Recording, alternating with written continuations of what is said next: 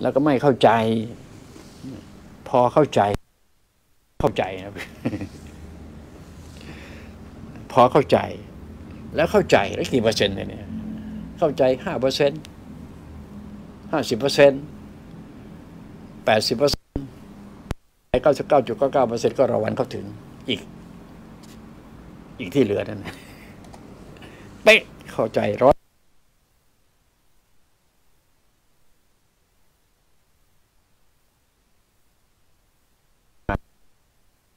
จะปานนั่นลุงดูกันแล้วกันนะมาถึงต่อไปนี้ก็เป็นเรื่องราวของฝั่งเฟสนะเชียนเชียโอ้โห มีคนจะส่งปฏิทินมาให้แล้ว มีปฏิทินเตรียมไว้ให้ลุงแล้วทั้งหมดสี่ชุดเห็นไหมพูดผ่านรายการแป๊บเดียวก็จะมีคนส่งมาให้แม่ลุงอะเป็นคนที่มีบุญจริงเนะอืมนะ มนุษย์ลุงเนี่ยจะพามาดูบริษัทที่เติบอืม อืมอ๋อลุงก็กดผิดกดถืออ่าเฟสโอ้ปึก โปะลุงงอก สุขภาพอะนาคตโปะอืมใจเย็นพี่หายใจด้วยนะคะ อืมอ้าวมีอะไรถามทีนี้ครับ บรรยากาศประเพณี พอเวลาเสร็จ พอที่มันจะเป็นองค์ความรู้เล็กๆน้อยๆได้บ้างก็ มนุษย์ที่มันผ่านมานะองค์ความรู้นะก็มาถามกันตอบกันตรงนี้แหละ ถามกันตรงแบบ เอาแบบหน้าตักใส่กันเนี่ย เรียวไทม์เรียวไทม์อ้าวมีใครทำเฟซนะฮะเอาฝั่งยูทูบคราวนี้นะครับโป๊ยูทูบว่าไงอึบโอ้โห เสียงดังอึบเลยยูทูบเนี่ยโป๊ะอ้าวโอ้สดเลยเนี่ย มาแล้วเชื่อสด กดเข้าไปชัวอืมอ้าวเฮ้ย ตั้งแต่วันไหนแล้วเนี่ยอ๋อคนละประเทศนอกแล้วแบบนี้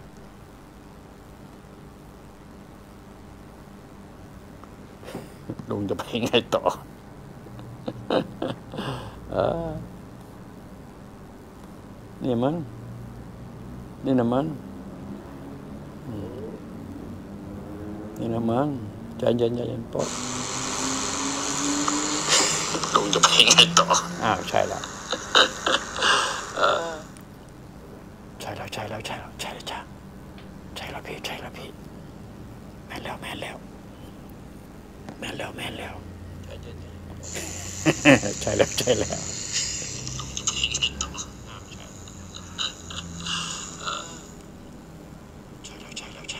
อ้าวใช่แล้วนี่เสียงกระซิบจะใช่ได้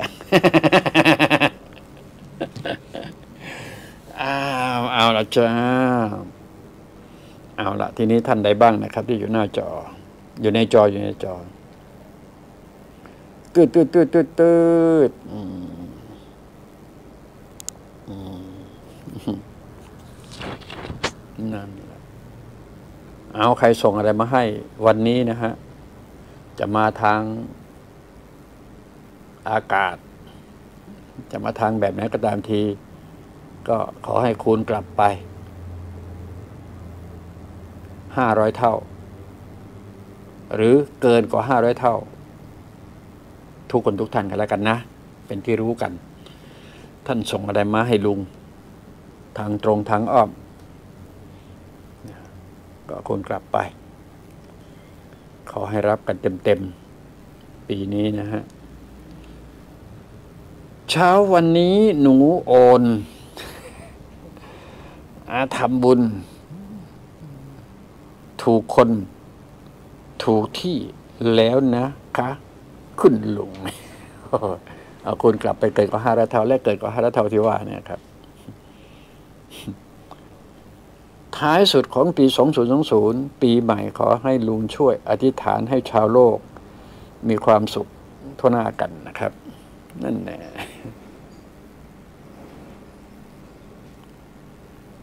สวัสดีลุง แสดงว่าต่อจากนี้ไปหนูต้องระวังพฤติกรรมคำพูด กิริยา ตัวภาษาตัวหนังสือ สุภาพ คิดดี พูดดีทำดีอะไรแบบนี้ แบบนี้ก็แฟร์สำหรับหนูสิคะ อิสระหายหมด ไม่ไหวมั้งลุง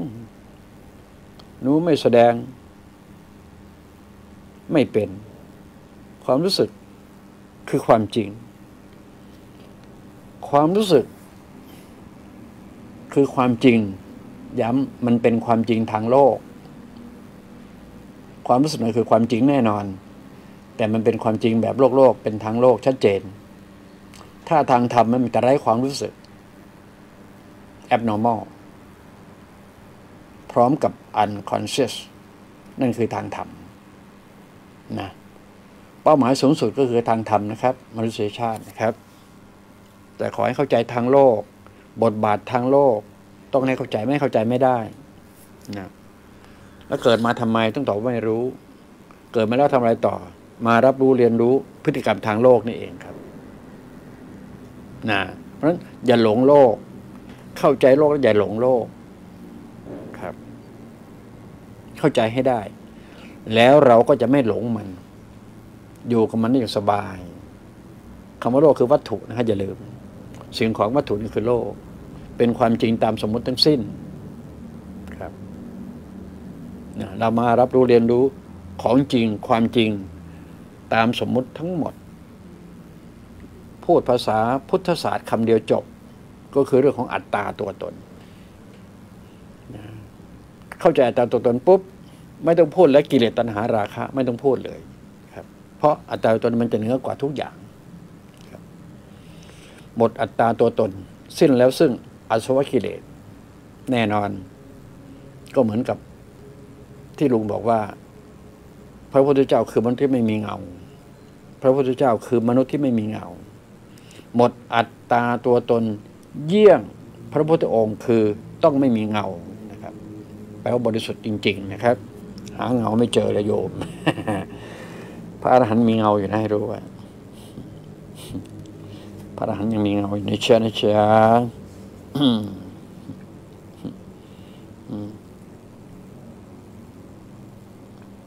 นั่นแน่อืม อืม ครับ ค่อยๆปรับ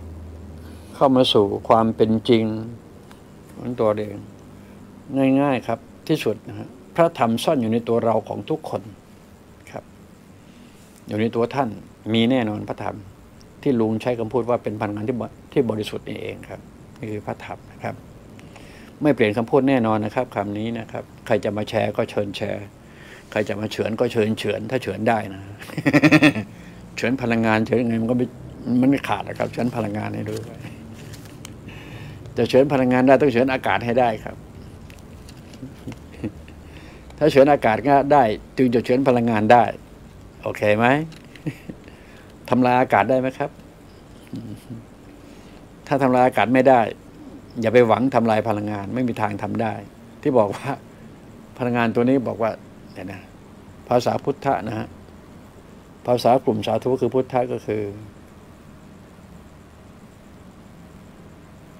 มันมีอยู่ก่อนก่อนเกิดสรรพสิ่งทั้งหมดนะฮะภาษาที่วางกันโป๊ะคำเดียวคือ emptiness คำเดียวน่าจะจบ คือความว่างความว่างมีอยู่แล้ว emptiness มีอยู่แล้ว ภาษาพุทธคำเดียวเป๊ะเหมือนกัน ก็คือ ปรมัตสัจจะเป็นความจริงโดยปรมัตถ พอเวลาเกิดโลกมาแล้วก็คือเป็นเรื่องสมมุติ แต่ปรมัตถ์ซ่อนอยู่ในสมมุติเนี่ยตัวเราคือสมมุติ ปรมัตถ์ซ่อนอยู่ในตัวเรา อันตรงนี้นะที่ลุงบอกว่าเป็นพลังงานที่บริสุทธิ์นะครับ ลุงต้องกลับมาใช้ภาษาลุงนะครับ เพราะว่าใช้ภาษาคนอื่นแล้วมันจะทะเลาะกัน จริงๆ ใช้ภาษาตลาดสดนะที่ผ่านมาเนี่ยทะเลาะกันแงลุงก็อธิบาย ภาษาเก่าแก่เก่าแก่ให้ฟัง แล้วก็ภาษาใหม่มาใช้ แล้วลุงก็ไม่ไปทะเลาะกับใคร แล้วก็เชื่อว่าไม่น่าจะมีใครมาทะเลาะกับลุงเพราะลุงพูดภาษาลุง คือลุงออกเพียวนิชี่ดีไหมครับ ถ้าใครอยู่อยู่บ้านหลังเดียวกันก็เชิญอัธยาศัยอย่างเงี้ยอยู่บ้านหลังเดียวก็ต้องคุยกันให้รู้เรื่องว่านี่คือสมมตินั่นคือปรมัตถ์นะเนี่ยเห็นไหมครับเพราะฉะนั้นสมมุติก็ใช้ไปตามสมมุติครับ นะนะนะแต่อย่าให้สมมติมาครอบงำเรามันครอบงำเราจะไปถึงจุดหนึ่งตันนะครับ อันตรายด้วยนะครับ ตัน ถึงจุดหนึ่งแล้วจะวนเวียนเหมือนเสือติดจันทร์นะครับนะนะนะนะก็ค่อยๆค่อยๆอะไรค่อยๆทำความเข้าใจ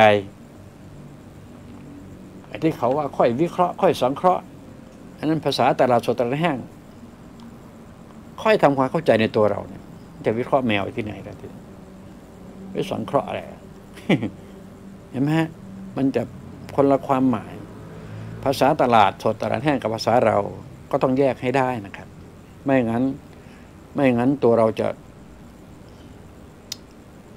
ภาษาภาษานอกตัวเราคือสัตตลาดตลาดสดภาษาเขากับภาษาเรานะภาษาเขาก็ใช้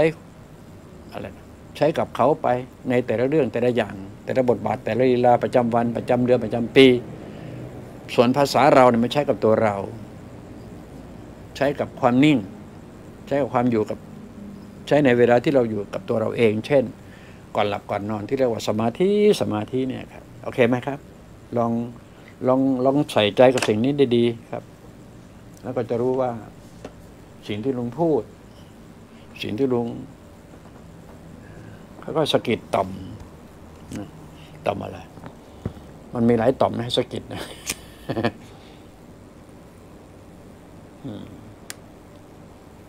ต่อมไร้ท่อเหรอต่อมมีท่อไปสะกิดกันเอาเองลุงสะกิดแต่ต่อมไร้ท่อก็พอแล้วครับโอเคไหม วันนี้เป็นวันที่รู้สึกนิ่ง และเฉยๆมาก ๆ เท่าที่รู้สึกเหมือนไม่รู้สึกอะไรเลย อันแน่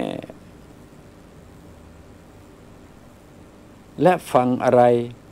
ไม่รู้เรื่อง อ่านไม่เข้าใจ ไม่แน่ใจ สับสนงง ว่าเขากำลังแสดงอะไรกัน อยู่คะลุง ช่วยอธิบายพอสังเขป อธิบายมาเยอะแล้วเมื่อกี้นี่ ไม่ใช่สังเขปนะนั่นนั่นพึงมีสติ ตอนฟังลุงนะรูปหลังสองคมเลยแหละว่าไปโน่นเอาค่อยๆ ใส่ขีดสกาวเราไปตั้งคณะตลกกันเอาเข้าไป ลุงบอกว่าเราคือส่วนย่อของโลก และทุกสรรพสิ่งคือสิ่งเดียวกัน ตอนนี้ มีคนเจ็บป่วยทั่วโลก กระแสความไม่สบายตัว เชื่อมโยงถึงกันไหมคะ เด็ดดอกไม้สะเทือนถึงดวงดาว ที่ลุงเคยเปรียบเทียบ ต้องบอกว่าใช่นะครับ เอาประโยคนี้มาใช้ก่อนนะครับ ลุงเคยบอกว่า เราคือส่วนย่อของโลก และเป็นส่วนย่อของทุกสรรพสิ่ง หรือบอกว่าทุกสรรพสิ่งเป็นสิ่งเดียวกัน ได้หมดครับ เดี๋ยวขออนุญาตเล่าอธิบาย สิ่งเดียวกันให้ฟังก่อนนะครับว่า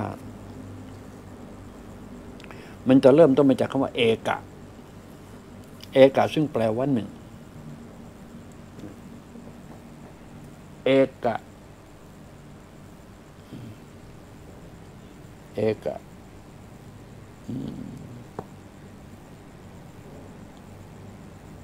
เอกราชได้ไหมเอกราช แปลว่า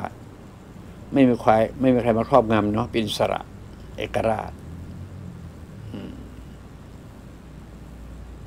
ใช่นะ มันใช้ระดับประเทศชาติใช่ไหมเอกราชอย่างเงี้ย ถ้าจะกับตัวเรา เอกสิทธิ์ได้ไหมครับเงี้ยเออเอกสิทธิ์เห็นไหมเอกสิทธิ์ในตัวเรา ตัวเรามีสิทธิโดยชอบธรรม ที่จะทำอะไรหรือไม่ทำอะไร จะไปหรือไม่ไป จะเป็นผู้รับหรือจะเป็นผู้ให้เนี่ยเนี่ยเออพอได้ไหมครับ เอกอะเนี่ยคำเหล่านี้นะฮะ เอามาขึ้นตาช่าง ทีนี้กลับมาถึงบอกว่า ตัวเราเป็นส่วนย่อ จริงไหมทีเนี้ยเราเป็นส่วนหนึ่งของโลกอะเห็นไหมครับ แม้แต่ เห็นไหมบุหรีซองนี้ก็เป็นส่วนย่อของโลกใบนี้เอาเห็นไหมครับ เออปากกาเม็ดทรายหนึ่งเม็ดก็เป็นส่วนย่อของโลกทีเนี้เอาหนึ่งเดียวกับโลก หนึ่งเดียวกับทุกสรรพสิ่ง ได้ไหมครับถ้าว่าโลกทั้งใบเนี่ยถือว่าทุกสรรพสิ่ง มีชีวิตไม่มีชีวิต มาพืชมาสัตว์เห็นไหมได้ไหมครับ แต่รวมความทั้งหมดนะฮะโลกใบนี้รวมทั้งหมดนะครับคำถาม แล้วให้ท่านตอบทีนี้ครับ โลกทั้งหมดเนี่ยฮะ เป็นสิ่งที่มีชีวิตหรือไม่มีชีวิตครับ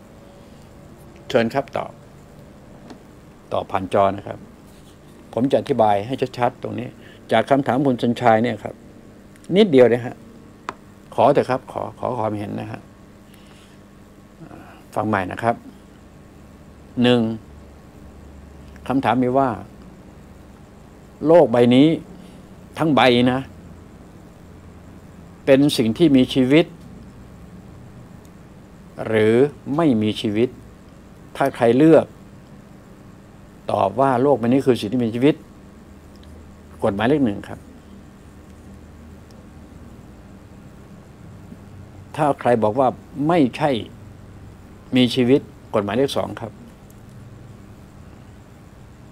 โอเคนะ มีชีวิตกับไม่มีชีวิตนะฮะมีชีวิต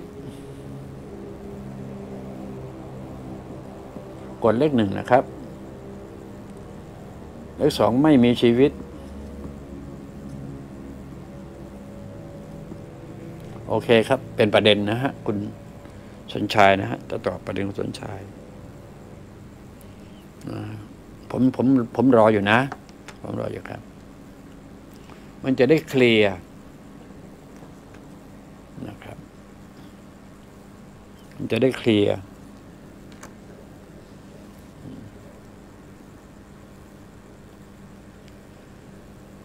นาะเนาะเชิญเลยครับ รีบตอบมาเลยครับ แล้วลุงก็จะได้เฉลยไปพร้อมกันอย่าลืมนะ เราอยู่บ้านหลังเดียวกัน พอเวลาเข้าใจอะไร ถ้าเข้าใจด้วยกัน มันก็จะไปด้วยกันได้ ถึงจะย้อนแย้งกันในเบื้องต้น ก็สามารถปรับได้ ปรับ นะปรับให้มันเข้ามาอยู่ในส่วนกลางๆที่จะไปกันได้ อยู่ด้วยกันได้แชร์กันอะไรพวกนี้ อย่าลืมไม่มีถูกไม่มีผิดนะฮะอย่าลืม ไม่ได้ไม่เสียนะไม่มีกำไรขาดทุนนะครับ ไม่เสียศักดิ์ศรีต้องบอกว่าไม่มีศักดิ์ศรีนะถ้าเอาศักดิ์ศรีมานะไม่ได้นะครับ เอาศักดิ์ศรีเอาฐานะมาไม่ได้นะครับ เอาฐานะความเป็นอยู่มาวัดไม่ได้นะครับ เรื่องนี้ต้องต้องโปรดเข้าใจให้ตรงกัน มันจะไปง่ายและจะสนุกนะฮะก็เรียกว่าตัดตอนมันออกไปสักหน่อยหนึ่งทั่วๆไปบอกว่าตัดกิเลสตัณหาราคะออกไปให้มันสิ้นเชิงไปเนี่ย ถึงแต่ไม่ได้ก็แกล้งตัดเล่นๆไป เออ ตัดมันยังไม่ได้ ก็ อยู่กับมันให้ได้เนี้ยโอเคไหมครับ มันก็จะไปต่อได้สง่างามนะครับ อืม อืม